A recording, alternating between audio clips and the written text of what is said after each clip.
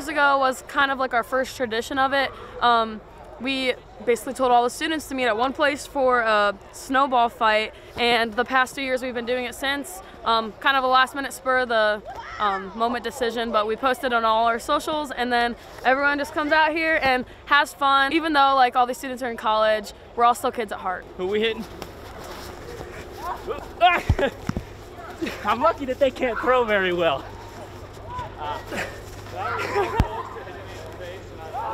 Ha ha ha.